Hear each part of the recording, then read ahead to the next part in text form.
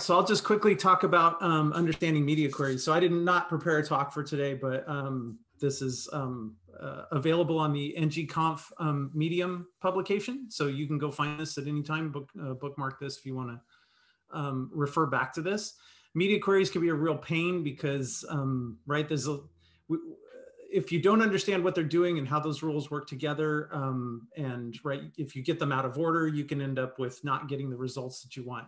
So the point of media queries is really uh, for us, most of us are probably doing mobile first development, which means that we want the root styling in our um, CSS or Sass files, we want that to be the styling for the mobile presentation of something. We don't want to style for desktop and then have to like do a bunch of changes to get it down to mobile the reality is, is that mobile often scales very well to desktop and we just need minor tweaks to make it look better in desktop. Maybe we can unstack some things uh, and better leverage some horizontal real estate. So we want to use media queries to do this. And I'll just make this bigger so that everybody can see better. Um, so a media query starts with the at media. Uh, this is the media query, CSS uh, query directive. Uh, and we usually are targeting screen. There's also things like uh, print uh, for print layouts and things like that. But most of us are targeting screen most of the, most of the time, probably 99% of the time. Oops, sorry. Um, so we're writing media screen, and then we're going to combine that query. So we're targeting a screen layout, and we're going to target that query with uh, some qualifier that says what area we want to qualify. So for mobile first, we're not qualifying it with anything. There is no media query at all for our mobile first stuff. So the first stuff that shows up in our uh, Sass or CSS file isn't going to have any media query wrapped around it. Uh, so then when we go, well, you know, when I get to a slightly larger presentation, I need to um, uh, I, I, need to maybe uh, change a flex uh, direction, right, from column to row so that it's going to use more horizontal real estate. So uh, what I need to do is tell it at what breakpoints I need to do that. So uh, as we're doing that, um, we're probably going to be using, if you're using Sass, you're going to be using min width and max width. If you are using CSS, you're probably going to use min device width and max device width. So it'll be slightly different depending on whether you're using this uh, Sass compiler or not. Uh, but the, the rules and the principles still apply. And I've put together a nice cheat sheet on this page that kind of describes, okay, here are some breakpoints. You may use entirely different breakpoints, right? They, they may be breakpoints that you choose for your organization, for the devices that are most common for your users or whatever. Um, so, right, you might have different values for what is a small device's minimum width and a small device's max width.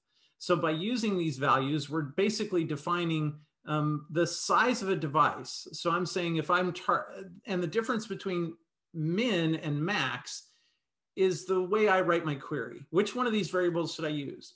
If I'm, gonna, if I'm going to write my media query to use min width, um, then I'm going to use a min width variable because I want to say, I, I want to find something that has a minimum width of my minimum width Sass variable. Um, or I'm going to target it using max width, and I'm going to use a max width variable and say, I want to target something that has a maximum width of my small max device.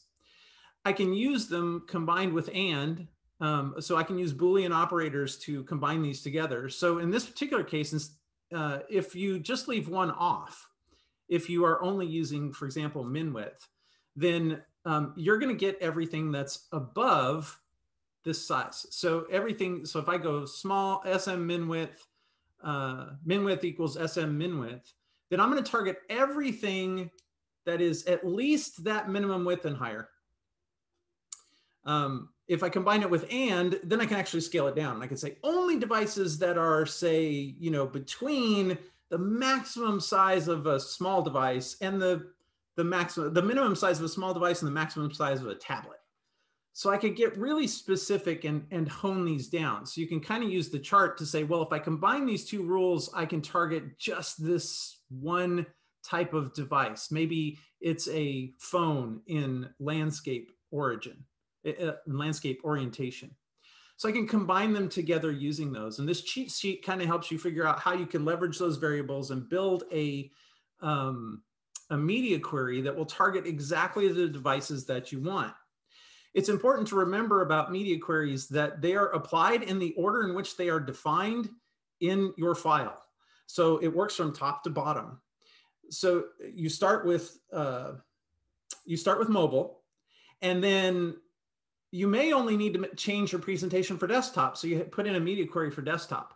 And then six months later, you come back to that file and you may need to put in a rule for a tablet. We want to do slight, something slightly different for tablet. If you put that at the bottom, um, and you don't target it really specifically, you could actually end up overwriting your desktop rule because it came later in the file. So you need to make sure that you put them in the order that you want them to get applied. It's not necessarily from mobile to tablet to desktop.